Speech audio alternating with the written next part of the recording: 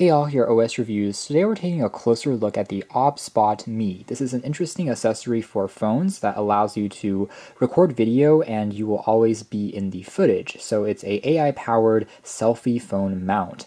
Via a motor in the base, it's able to track and follow you around. So if you're doing video calls, for example, and you're walking around the room, you don't need to actually move the camera, it will just follow you. And this isn't the first time we've checked out a product from these folks.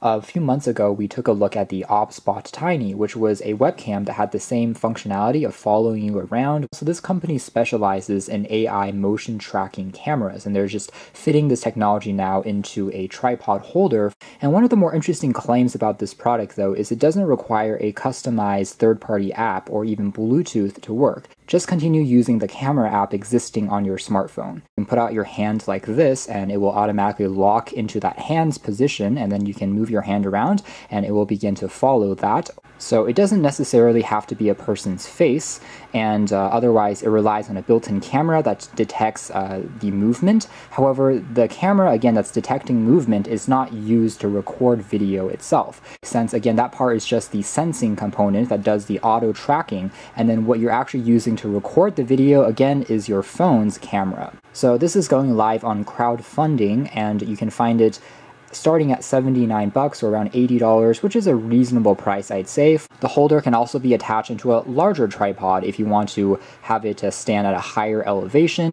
Alright, so here's the packaging that it comes with. It has a hard shell carrying case, which is nice and protective, and on the inside we have the OBSBOT Me along with the mini tripod. Again, you can attach it to a larger standard one if you want a taller height, and then just the standard USB Type-C charging cable.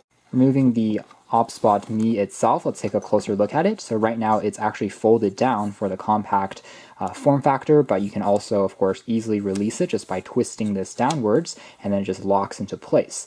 When detached from tripods, it's similar to a mini selfie stick. The entire body here is constructed out of a polycarbonate plastic, doesn't really attract too much fingerprints or smudges, and the dimension here is similar to the previous OBSBOT Tiny that we saw, the webcam version of their product, and you can see that next to it.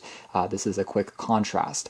Uh, we have the aforementioned wide angle lens that's just used for detecting where you are, so it can automatically recognize that and pan and follow you, but again, it doesn't actually save or record the video, so the resolution here doesn't really matter. It's basically just a sensor component. Still, I think that in the future, maybe via a software update or in the next generation, they can consider allowing you to save the video footage from this lens uh, that would be neat to offer as a alternative. Even though you don't need to have a third-party app, having that as an option or saving it to an SD card could still be neat. And then we have just a power key on the front, and then there is a LED ring that will glow to tell you the status of the camera when you turn it on. And blue means that it's currently thinking and just turning everything on.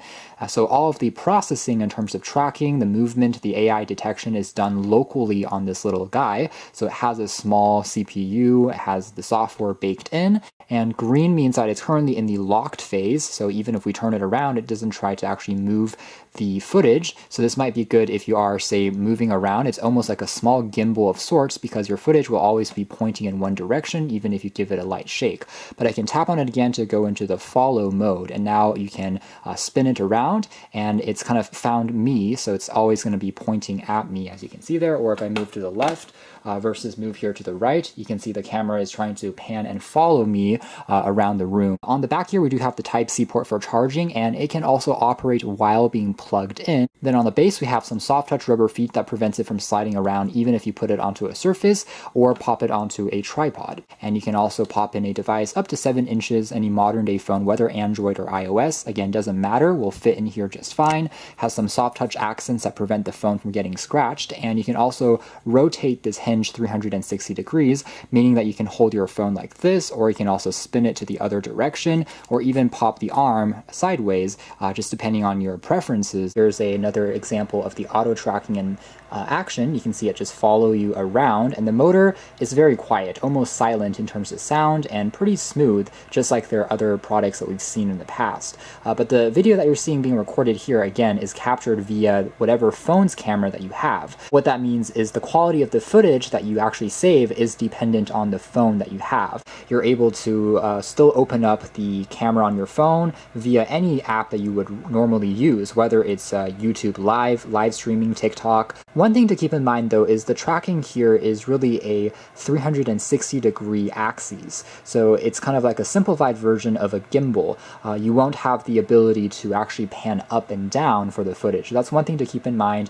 Uh, when you pop your phone in there, it will spin, but it can't move higher if you uh, suddenly jump up, for example, unless you're further away. So here we have the phone locked into place, and right now we are in the mode where it doesn't follow us around. So even if I kind of move it slightly, it's still trying to point it at one even direction, and it's also holding the weight without really wobbling or anything like that. It's being stabilized quite well. And I can alternatively switch into the follow mode just by tapping on it once again, and now it will freely move around as a aforementioned, so you get a better idea of uh, the fact that it can just rotate and find you, and you can see the motor there is almost completely silent. So like this, you can record content that might be more suited for TikTok or YouTube Shorts, and it will still, again, have the same capability. The weight of the phone is still handled very well, so I can, again, move around, come over here, and it will continue to kind of follow, regardless of if I am kind of standing it vertical or horizontal, will still be kept really without any problems, and the tracking is surprisingly sensitive. Um, it will be able to follow you in most cases that I tried it with. It doesn't even necessarily have to track, again, your face or your head.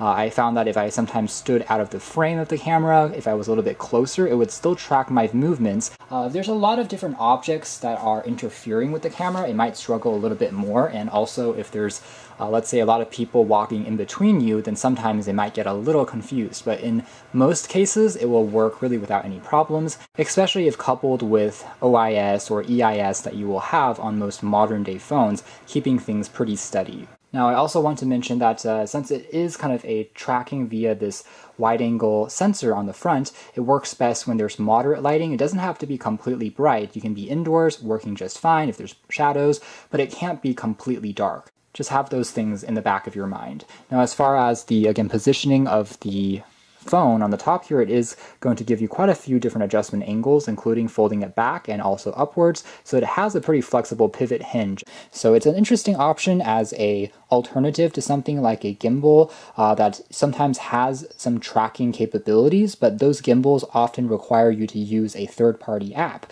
Uh, they will require to download something, and you can only record video using its dedicated app if you want to track things. But once you leave or open up something like YouTube's video live recorder or TikTok live, you no longer have access to those tracking capabilities. So that's the biggest thing that this OBSBOT Me is trying to solve, which I think is a, a pretty neat idea. And overall, it does work quite well as far as the tracking is concerned. It's pretty accurate in terms of just following you around. When it detects a hand, you can see it will just automatically start to track versus lock. And that's a pretty neat function. If you're looking for that to just always uh, record content of yourself, then this can be a very handy companion tool at a decent price, I'd say. You can check out more details if you're interested in the links down below. But for now, that's been our video. Thanks for watching here at OS Reviews.